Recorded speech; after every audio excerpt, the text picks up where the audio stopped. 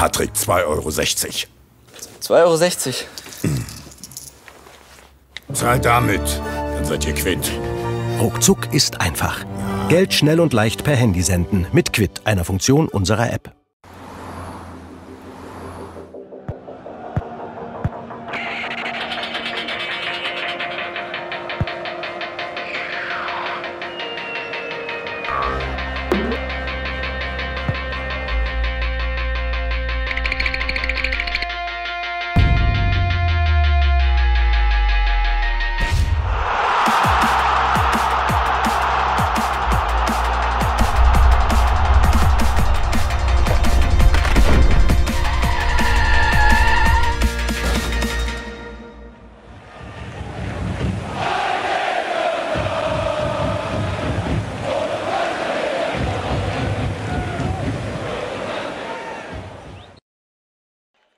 Ich bin so ein bisschen, bisschen sprachlos jetzt nach dem Spiel. Ich glaube, dir geht es genauso, oder?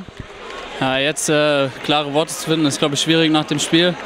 Ich denke, das müssen wir jetzt erstmal sacken lassen, äh, aufarbeiten und dann, denke ich, in den nächsten Tagen kann man dann dazu ein bisschen mehr sagen. So aus dem Bauch heraus, was war in der ersten Halbzeit mit euch los? Ihr habt völlig von der Rolle gewirkt. Ja, wir haben ein bisschen schwierig ins Spiel gefunden, aber ich denke trotzdem, dass wir umso länger das Spiel war, denke ich, sind wir immer besser reingekommen. Und ich denke, zum Schluss war es einfach so, dass wir auch nochmal alles reingeworfen haben. Ich denke, wir können uns jetzt, äh, klar, wir haben nicht gewonnen, wir haben leider verloren, aber wir haben jetzt nochmal alles reingeworfen. Zum Schluss hat leider nicht gereicht. Wir müssen äh, vielleicht von Anfang an diese, diese letzte Wille, die wir jetzt zum Schluss gezeigt haben, von Anfang an auf den Platz bringen. Das wollten wir auch von Anfang an, die Fans auch hinter uns kriegen, aber leider hat das nicht ganz geklappt heute. Ja, man hatte schon so das Gefühl, in der Pause habt ihr euch dann gesammelt und äh, ging ja nach der Pause gut los. Da hattet ihr ja einige Torchancen, aber die habt ihr halt wieder liegen lassen, ne? Ja, klar, wir haben nochmal in der Halbzeit natürlich äh, klar besprochen, dass wir nochmal alles reinwerfen jetzt. Wir standen mit dem Rücken an der Wand, wir haben eins nur hingelegen, klar, wenn wir das Spiel drehen und äh, in Offenbach ist eigentlich immer was möglich. Heute hat es leider nicht gereicht, aber ich denke, es bringt nichts, die Köpfe jetzt hängen zu lassen, auch wenn es drei Spiele jetzt waren, aber das nächste Spiel zählt wieder und da zählt auf jeden Fall nur der Dreier. Serkan, wir hatten es eben schon so ein bisschen von der Sprachlosigkeit nach so einem Spiel. Du hast die ja sicherlich sehr schlechte erste Halbzeit von außen gesehen. Was ging dir da durch den Kopf? Gute Frage. Was soll man darauf antworten? Ähm ja, warst du, da, warst du auch fassungslos, sprachlos, überrascht? Überrascht deswegen, weil, wir, weil ich weiß, was eigentlich für eine Qualität in der Mannschaft steckt und weil ich weiß, dass wir es eigentlich ja, acht Klassen besser können. Wir können es. Es liegt halt zurzeit einfach nur an, ja, an Dingen, die, die man, ja, an Kleinigkeiten einfach, an denen wir wirklich schrauben müssen. Das ist einfach äh, ja, das Selbstvertrauen und vom Kopf her die Überzeugung einfach, wenn jeder Einzelne von sich selbst überzeugt ist und äh, das nach außen zeigt, den Kampf annimmt, über Leidenschaft, über Zweikämpfe reinkommt, sich in das Spiel äh, reinsteigert, dann, dann ja, dann äh, schaffen wir es auch zusammen wieder äh, in, die, in die richtige Spur. Ich denke, da müssen wir ansetzen, dass wir fußballerische Qualität haben, dass wir, ja, äh, das haben wir schon des Öfteren bewiesen. Ich denke, äh, der Kern der Mannschaft, beziehungsweise der Großteil der Mannschaft ist zusammengeblieben. Und wir müssen jetzt über Mentalität, über, über Einstellung, über Zusammenhalt, über ja, einfach positiv, Brust raus, müssen wir zusammen, zusammen da wieder rauskommen. Ich denke, das schaffen wir, das haben wir schon des Öfteren bewiesen. Und ja, klar, es ist schwer jetzt im Moment Worte zu finden. Ähm, aber ich denke, äh, ja, äh, nächstes Spiel ist schon drei Tage später, deswegen jetzt noch äh, drüber Gedanken machen, aber morgen ist gar keine Zeit. Äh, morgen muss es schon äh, analysiert werden, nüchtern, sachlich und dann geht es am Freitag schon wieder um die nächsten drei Punkte. Und wie gesagt, es ist gar keine Zeit, jetzt irgendwie äh, hier Trübsal zu blasen oder sonst was.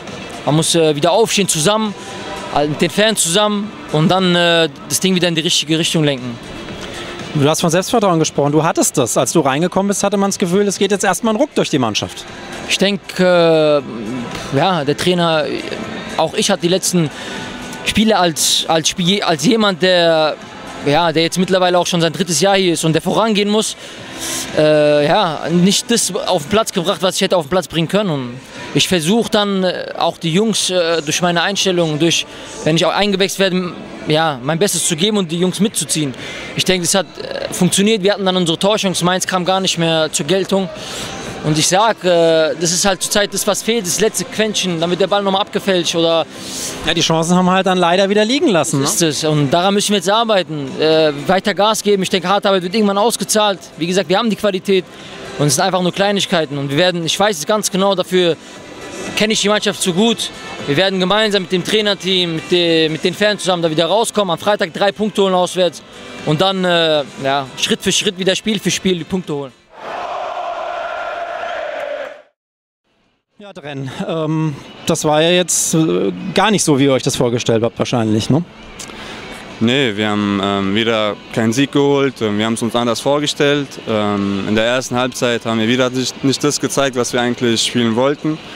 Ähm, in der zweiten Halbzeit hat man gesehen, dass die Mannschaft wollte und ähm, auch von Beginn wollte die Mannschaft eigentlich, aber irgendwie hat es jetzt nicht geklappt und wir müssen halt gucken, woran es liegt und wir müssen weitermachen.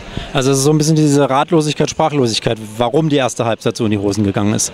Nee, wir wissen schon wieso, aber ähm, es ist einfach manchmal so im Fußball, dass man will, aber es dann irgendwie nicht klappt. Aber ähm, das Wichtigste ist, dass wir ähm, trotzdem weiter an uns glauben und dass wir ähm, mit einem Tor, dass so ein Dosenöffner uns vielleicht mal gut tun wird. Und ähm, ja, wir müssen jetzt positiv nach vorne schauen und am Freitag geht es schon wieder weiter. Ich meine, ihr seid ja aus der Kabine gekommen, da habe ich gedacht, jetzt drehen sie das Spiel, ja? Ja, mit den Fans hier, wir haben ja andere Ansprüche. Wir wollen oben mitspielen, wir wollen ähm, jedes Spiel gewinnen. Aber so wie wir in der ersten Halbzeit gespielt haben, können wir kein Spiel gewinnen und ähm, müssen uns hinsetzen, ähm, Fehler schnellstens analysieren und dann geht es schon morgen wieder weiter.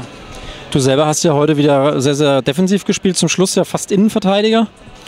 Ja, es ist, glaube ich, nicht wichtig, wo, wo ich spiele. Ich muss einfach meine Leistung bringen, wie jeder andere. Und ähm, ich glaube, kein Spieler war jetzt da, der ähm, 100% das gespielt hat, was er spielen kann. Und ähm, deswegen müssen wir am Freitag schnellstens ähm, wieder da sein, wo wir sein wollen. Wie legt man jetzt den Hebel in so drei Tagen um? Ja? Also Gibt es positive Dinge, an denen man sich da hochziehen kann? Oder wie, was, wie macht, oder versucht man das zu vergessen jetzt?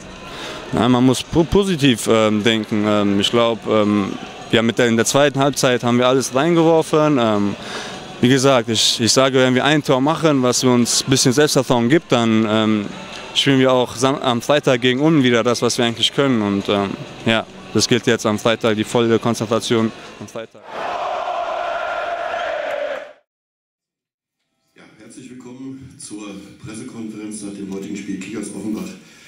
Gegen den 1. FSV Mainz 05, zweite Mannschaft. Ich darf begrüßen die beiden Trainer, Bartosz Gau und den Daniel Steuerlein für den UFC und darf den Bartosz bitten um sein Statement.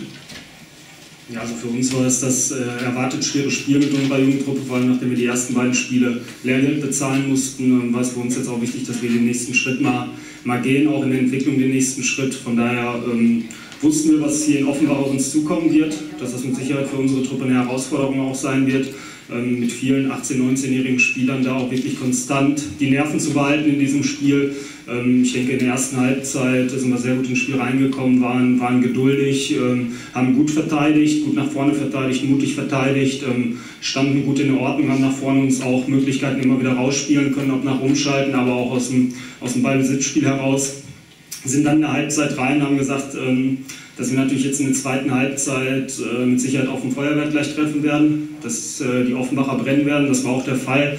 Ähm, da hatten wir mit Sicherheit eine Phase bis, ja, bis zur Mitte der zweiten Halbzeit, wo wir ein bisschen geschwommen sind, wo wir eher in Passivität verfallen sind, dass die Offenbacher natürlich stark gemacht hat.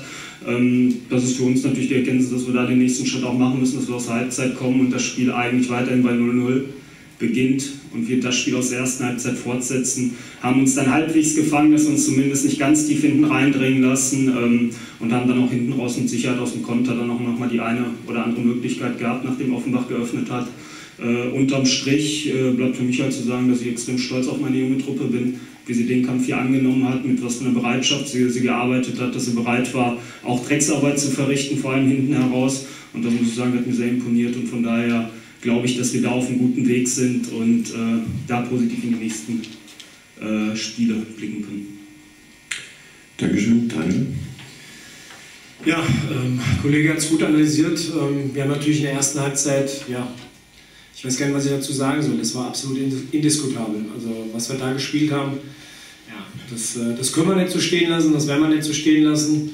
Und äh, ich habe es eben gerade schon auch zur Mannschaft gesagt, sorry, dass es ein bisschen später war, aber das, hier muss ab morgen anderer Wind rein. Und äh, ja, das werden wir auch tun. Und äh, wir haben das in der Halbzeit klar angesprochen. In der zweiten Halbzeit gab es dann auch eine Reaktion. Äh, leider hat äh, ja, die klare Chance, das wäre vielleicht ähm, der Wendepunkt gewesen.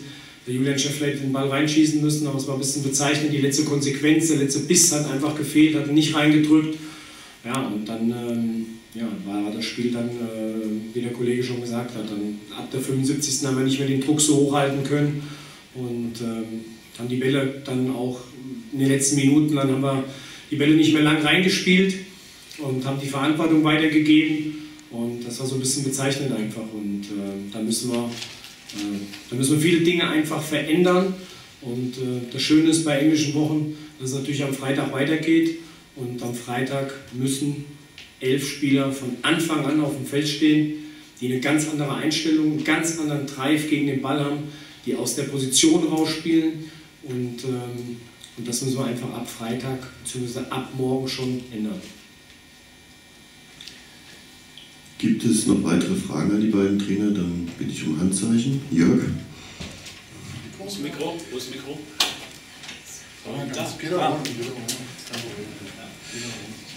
Da. Ja, Herr Steuerlein, vielleicht die Frage, ähm, Sie haben gesagt, die erste Halbzeit war indiskutabel, aber welche, was war denn die Idee eigentlich, was war denn eigentlich die Spielidee der Offenbach? Ja, das war genau das Problem, dass man das nicht gesehen hat. Also wir haben das vorher ganz klar, ganz klar angesprochen, wie wir das eigentlich bespielen, wie wir es bespielen wollen. Wir wollten kompakt gegen den Ball sein, das waren wir nicht. Wir wollten eigentlich Außenpositionen rausspielen, das haben wir nicht gemacht. Und deswegen ist genau das rausgekommen, was in der ersten Halbzeit rausgekommen ist. Ne?